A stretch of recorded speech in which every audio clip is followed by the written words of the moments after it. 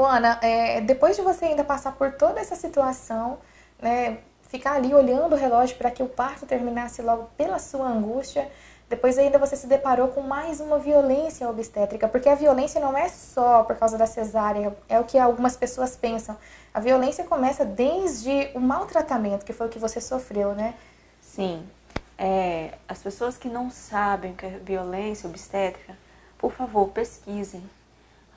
Internet está aí para você ser bem informado, se informar. É uma omissão de socorro, é uma, um maltrato que você recebe dentro do hospital, é um rompimento de alguma coisa, invasão no seu corpo, como ele fez comigo, por exemplo, com o rompimento da minha bolsa, sem me informar, sem me pedir, sem perguntar se eu queria que ele fizesse aquilo em mim. Entendeu? Todo, tudo isso, e tem muitas coisas a mais, é violência obstétrica. Tudo isso. E para ajudar, depois que você sai do, do hospital, você tem que ir para sua casa e o seu trabalho não para como mãe. Você tem que se recuperar de um parto cesáreo normal e você tem o seu filho para cuidar. Você tem que amamentar. E a minha luta hoje ainda em relação ao meu psicológico é tudo isso, porque como é que ficaria se eu não amamentasse meu filho?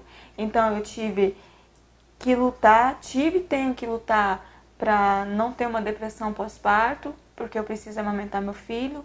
Eu tenho uma outra filha, então eu tenho que cuidar dela, eu tenho um esposo, eu tenho a minha casa. Então, gera tudo isso.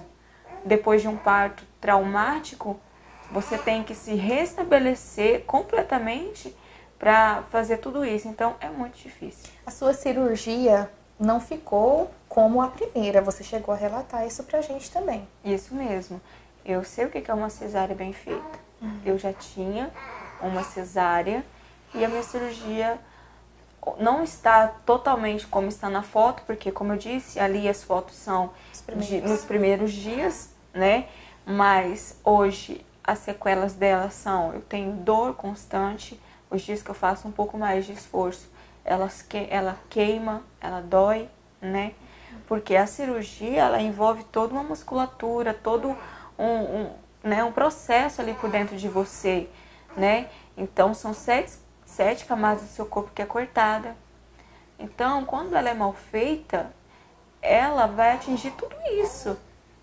Então, conforme ela está cicatrizando, os lados dela ficou muito mal feito, repuxados, então tá me causando dor, né? Ficou torta a minha barriga. Então, é muita coisa.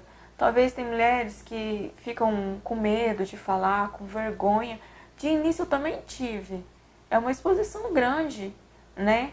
Só que eu preciso falar, porque é um assunto, é algo que está acontecendo constantemente. De onde que, que, surgiu a ideia de vocês, assim, de fazer essa manifestação nas redes sociais, de você expor esse caso, né? É, quando você se encorajou para tomar essa iniciativa?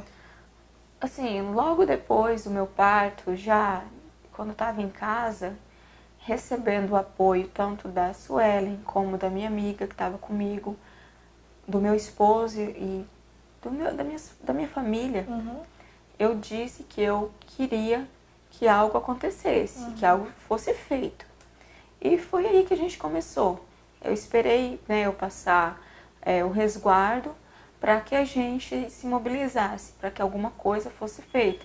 Porque tudo isso, só te interrompendo, tudo isso aconteceu no mês de janeiro. Isso, certo? eu tive meu bebê no dia 13 de janeiro, como eu disse. Uhum. Então eu esperei esse tempo para me mobilizar. É claro que mediante esses dias parados, a gente foi juntando as coisas que a gente conseguia, né? Eu fui escrevendo meu relato é, 12 dias depois já comecei a escrever o relato uhum. para eu não perder as os coisas, detalhes. os detalhes, as coisas que eu me lembrava. E quando esteve pronto, a Sueli me apoiando, ela foi me ajudando, a gente a poder colocar realmente na rede social, né? Escolhemos esse mês, né, que é o mês das mulheres, uhum. para falar um pouco sobre todos os tipos de violência que a gente tem sofrido. Uhum. E um momento, gente, tão mágico que é você ter um filho, que quando você se prepara nove meses de gestação não é fácil chegar no final e passar por tudo isso. Não é fácil mesmo. Ô, Ana, qual assim o recado que você deixa? Eu sei que através do seu relato e através do pouco que a gente conversou aqui, que não dá para entrar em todos os detalhes, mas qual o recado que você deixa para todas as mulheres? Sinto o meu abraço, assim como eu já recebi muitos. Sinto o meu abraço de carinho, de apoio, porque eu sei o que vocês já passaram, né? Eu já senti na pele o que muitas mulheres sofreram. E segundo, procure orientação, procure uma forma de se falar.